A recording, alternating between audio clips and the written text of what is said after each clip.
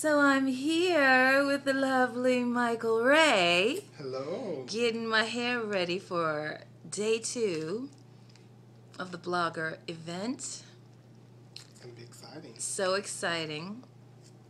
What are you doing here? Oh, good. I can I can actually see what you're doing now too. Just putting some texture in your hair. He's putting some texture I in my love hair. The outfit that you're wearing. I'll be wearing Byron Lars, Beauty Mark by Byron Lars, my other wonderful. So fabulous having like people to love on you and um and bring their expertise to your to your look. All in creating your fabulousness. It takes a team to make Oh, you it fabulous. Yes, it does. Yes, it does.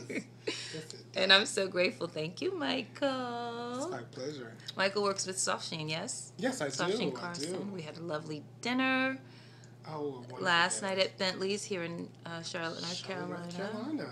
So he is working me out. We'll see what all this is going to look like. Yes. Product's gonna be great. Yeah, and so using a small, I'm using a 5 eighths or 3 eighths iron. It's one or the other. hmm Just to create some curls and some waves and some action in this hair.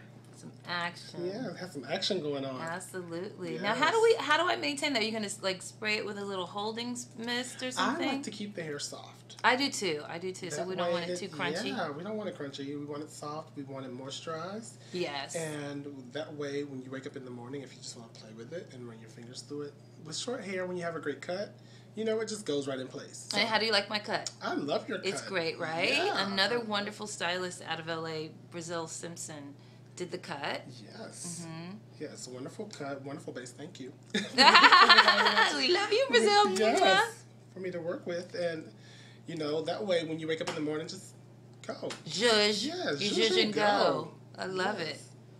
So so. I'll wrap this tonight though, and then will that will the texture stay or will that flatten it out It will or flatten it out if you. If you so should I wrap do like a little hoodie, not a hoodie, like a bonnet, more say to protect or you can just do a silk or satin pillowcase.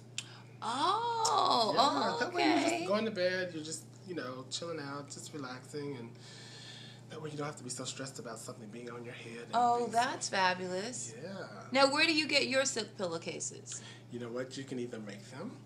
Oh, look at Yeah, that. it's really handy to make, or you can um, purchase them at any beauty supply store.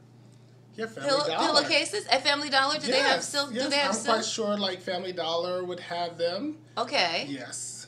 A Um, silk it's a pillowcase. silk Oh, that's pillowcase. fantastic. Then we Yeah. don't have to look like, you know. You don't have we to be mummified going to Right. bed. And, all- and so when you wrapped go to your boyfriend's house, you could just bring your pillowcase. Yes. And you don't have to bring your do rag. No, no, no, no. You Woohoo! just wake up and just, you know, touch, touch, and keep going.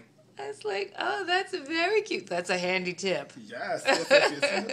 You don't want to be with your friend and waking up and undoing your hair. Just go to bed and just lay pretty and, and wake up beautiful. So, exactly. yeah. Okay, that's our tip for today. Mhm. All right. See you in a little bit. We'll look at the finished product.